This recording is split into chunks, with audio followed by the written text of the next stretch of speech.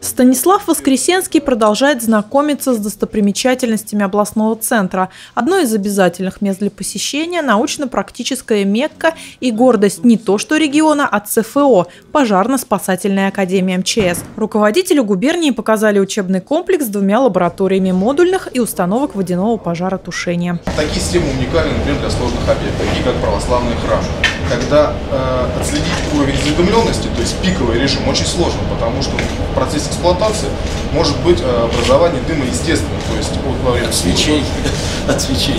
Здесь учатся курсанты Академии также работать с интегрированным комплексом, обеспечивающим систему пожарной безопасности любого объекта. Приходят те, кто обслуживает и проектирует реальные установки пожарных систем. Есть огневая испытательная камера, которая позволяет создавать модельные очаги пожара и производить, соответственно, пуск установок различных типов.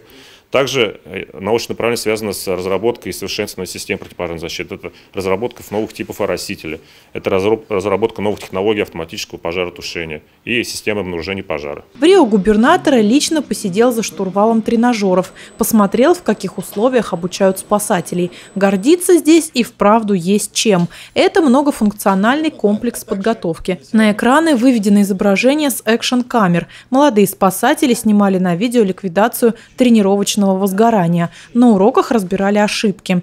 На компьютерах программы, проектирующие различные ЧП. Тренажер а, тушения пожаров, а, значит, некая игра, а, которая позволяет отработать те самые действия.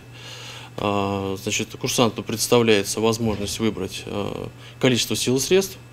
Он является руководителем пожарно-спасательного подразделения, как гарнизона, так и караула пожарного.